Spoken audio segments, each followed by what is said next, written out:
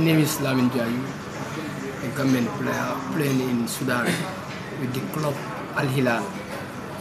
Uh, thank you so much, uh, Lamin. Um, first, I will. I'm. I'm, I'm gonna talk about um, you uh, opting to play for the Gambia. We know there was so much talk um, around you, and especially um, during your time at uh.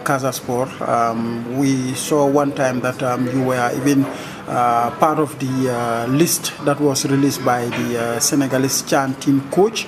Um, tell us um, why you opted to play for the Gambia. Yeah, it was an easy decision because I'm a Gambian, so it was not difficult for me. So I decided to play for my nation. It was not difficult for me. Okay, uh, now uh, briefly tell us um, how are things going uh, with you at uh, Al Hilal? Yeah, when I came in, I was welcome.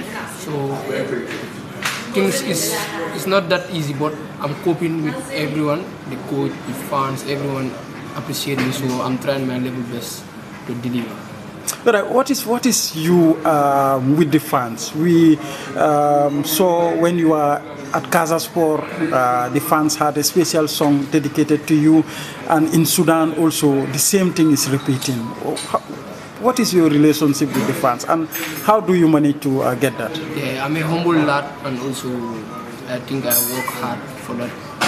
So I try, and, and also discipline. Um, I have discipline for the fans, and, and, and also I'm very humble. I interact with fans, so I try my level best on the pitch to make them happy.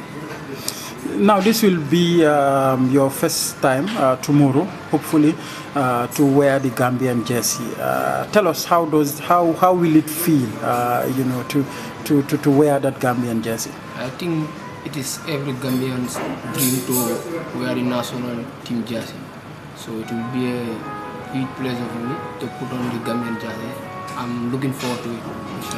Uh, now, uh, tell me um, the the mood in camp. How are you guys doing? How are you coping together? And um, how are you preparing for the game tomorrow? I think we didn't spend much time together. It's a little bit hard, but we are coping. You know, we, some some of the players we know each other in the league. By the time I was playing in the Gambia, so I think, inshallah, with the help of Allah, if we work hard, I see very good players here. So if we help each other and be and be ready, we, will- we will have a, a positive result. I know you, your, your fans, um, especially the, the ones in the Gambia, will be very happy, um, you know, seeing you wearing the Gambian jersey. Uh, what is your promise uh, to them on tomorrow's encounter? Yeah, I believe it's a it's it's a away game, so I believe we will go for a win.